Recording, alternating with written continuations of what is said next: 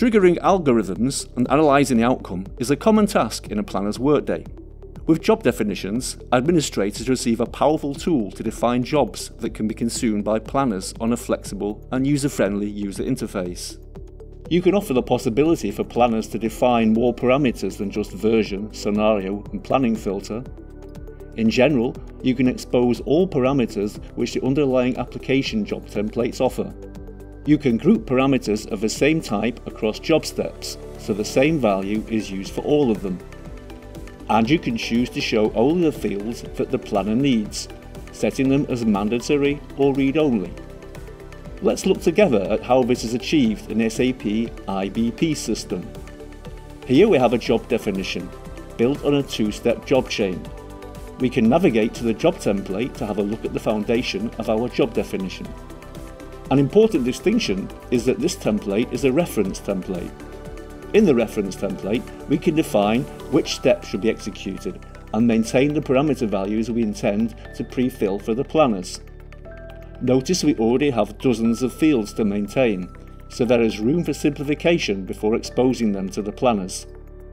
Back on the main tab of a job definition, we can give the job definition a name and description so that it's understandable to planners.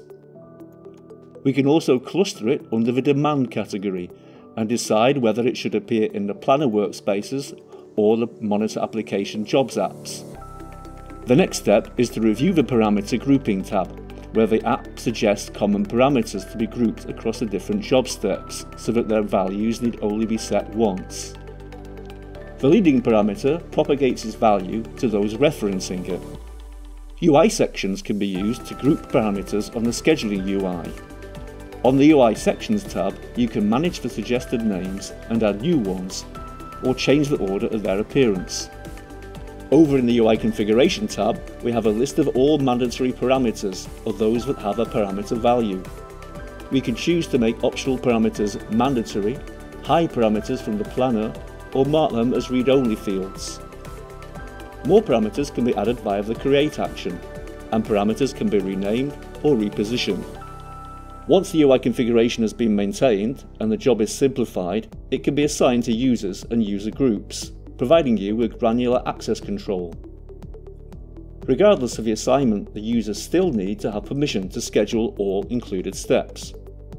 Use the preview action to see the resulting job scheduling layout as it would appear to the planners it is assigned to. The power of job definitions comes to play once you place them into the context of your planning tasks for instance as part of your planner workspace. Planners can now focus on the jobs relevant to them and benefit from a simplified UI. Once they click on jobs, they have a concise list of options to pick from, each with a relevant set of inputs. Simply hit schedule and go. We see the job running already in Monitor application jobs. The same scheduling UI for job definitions can also be launched from this app.